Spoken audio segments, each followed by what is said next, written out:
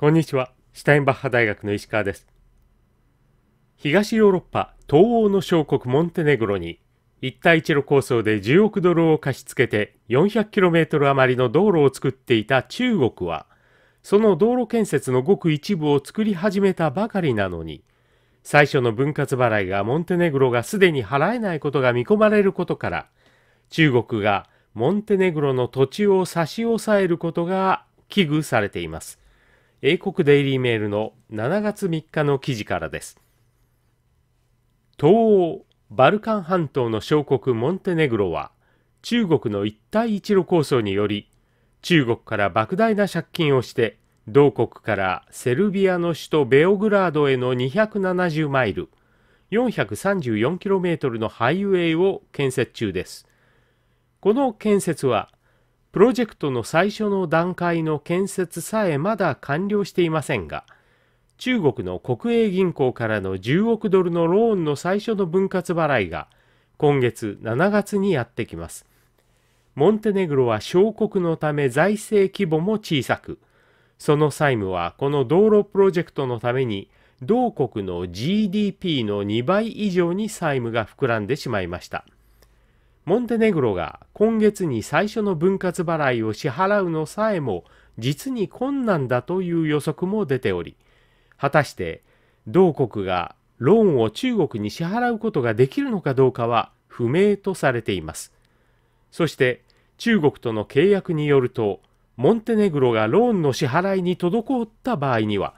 中国がモンテネグロの土地を差し押さえる権利を持っているとのことです。モンテネグロの美しい峡谷の上に作られた巨大なセメントの柱の上に走っている道路は、この小さな国モンテネグロを破産させる恐れがあると言われている未完成のハイウェイです。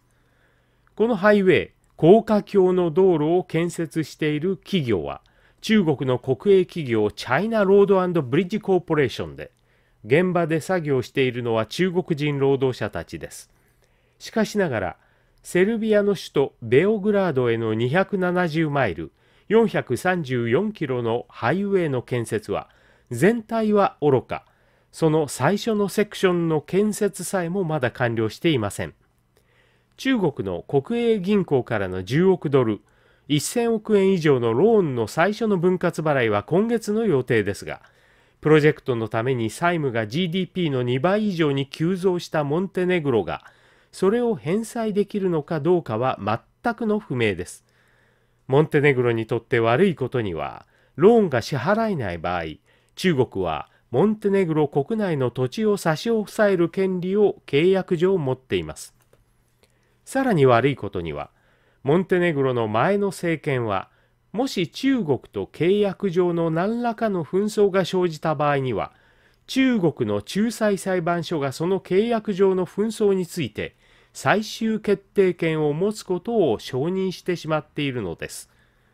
モンテネグロの現政権のアバゾビッチ副首相は5月、中国との契約条件は常識を外れて馬鹿げていると述べました。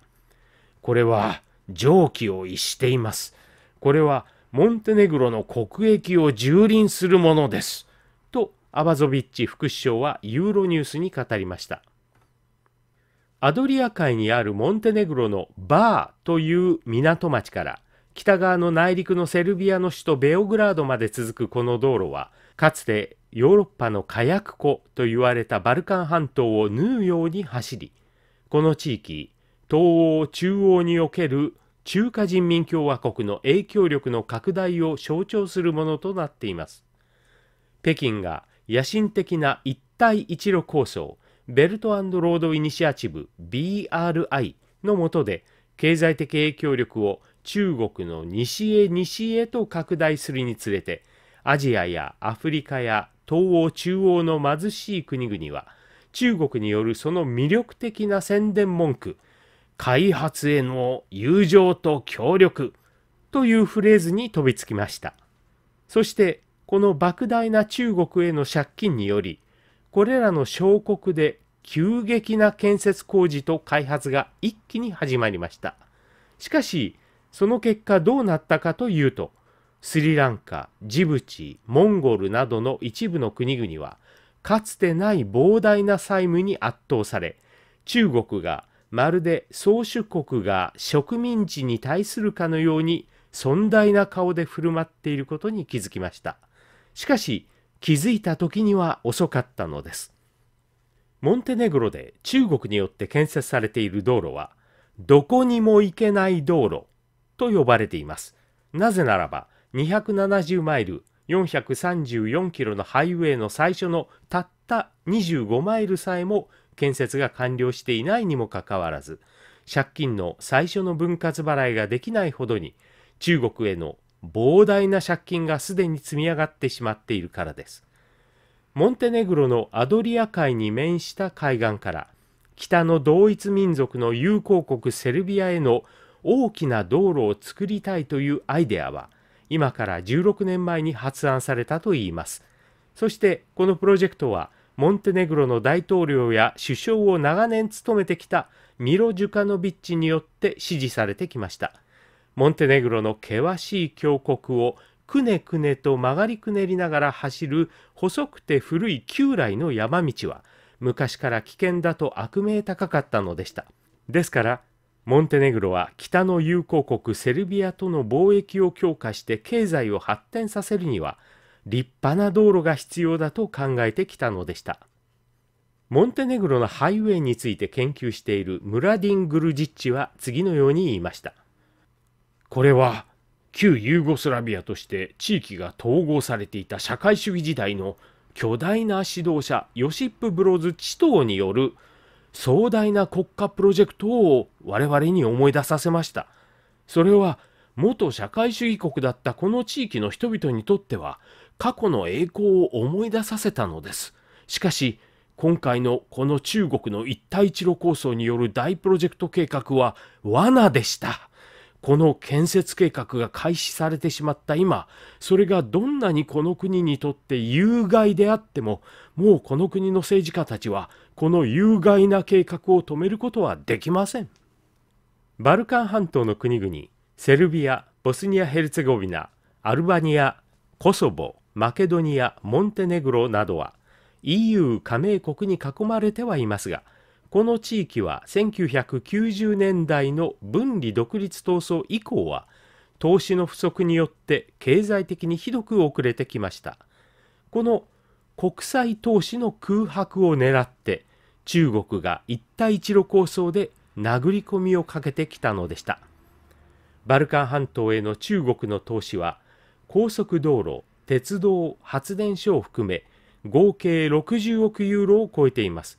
この地域で最大の経済国であり中華人民共和国の同盟国ともいえるセルビアは中国によるこの地域で最大の投資の分け前を獲得しています。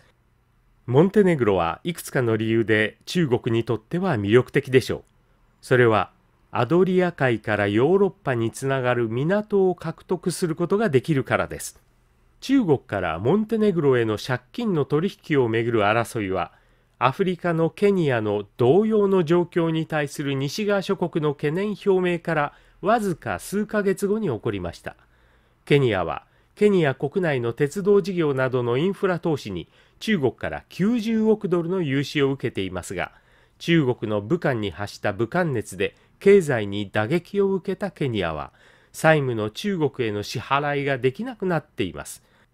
アフリカのケニアがもし中国からの借金を返済できなければ中国はケニアのモンバサという重要な港町を占領する可能性があると西側諸国は懸念を表明したのでした。そして同じことが今モンテネグロで起こっているわけです。ここからは私の試験になります。闇金帝国主義という言葉は私石川正和の造語です。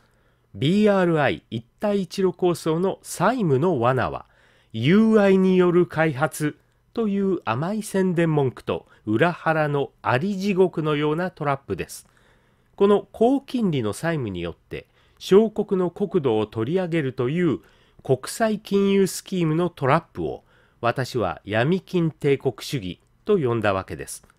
実際にすでにこの BRI 一帯一路構想の債務の罠によってスリランカはハンバントタ港を99年間というほぼ100年間中国によって咀嚼すなわち占領されてしまいました。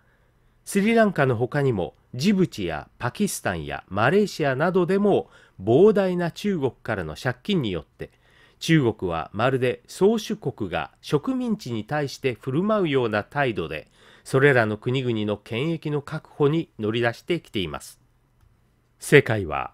中国の闇金帝国主義をどう食い止めることができるのか。アメリカのドナルド・トランプは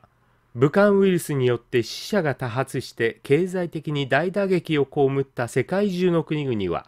中国への賠償金を求めることができるのでその頭金として中国からの借金を棒引きにするべきであると主張しました。世界は今手遅れにならないうちに闇金帝国主義に対して一致団結して対応することを求められています。今日はこの辺にします。